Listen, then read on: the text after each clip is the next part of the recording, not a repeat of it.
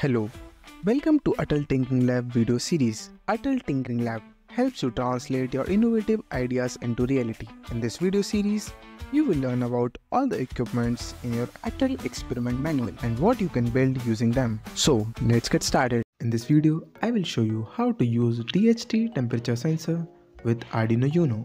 We will talk about the sensor, how to connect it and how to write the code. So let's get started. First, let's talk about the DHT11 sensor.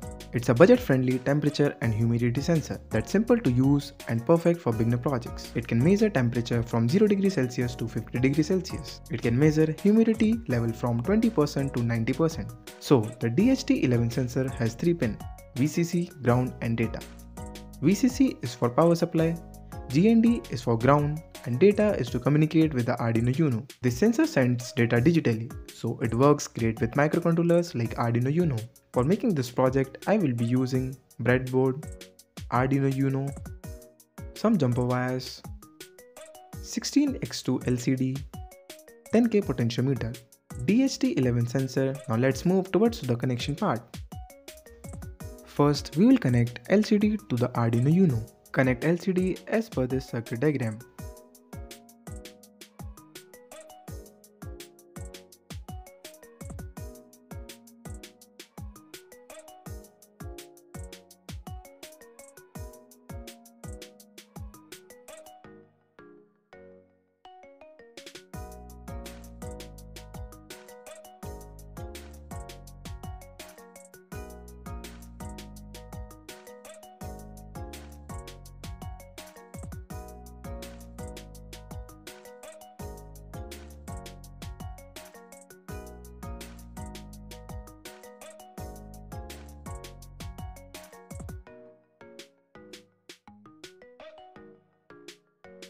Now let's connect DHT11 sensor with the Arduino Uno.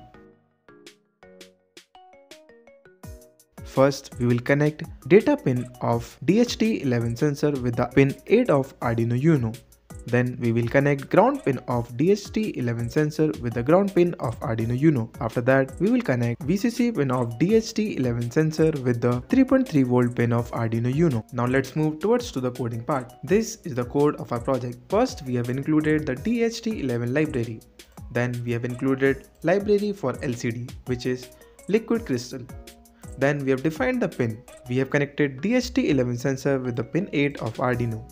Then we have defined the LCD pinout. So these are the pin where we have connected the LCD. Then we will be printing temperature and humidity on the LCD. So this is the line where the DHT11 sensor will take input in a digital form. Then it will print the output on the LCD. So that's all about the coding part. Now let's upload the code, then connect your Arduino to your laptop. Now select the board which is Arduino Uno and select the COM port. For me it is COM5, for you it may be different. And then click on upload button. Now let's see the working of our project. Once the code is uploaded, you will be seeing live temperature and humidity values on the LCD. So that's it for today's video. Do like and subscribe for more amazing videos like this. Thank you for watching.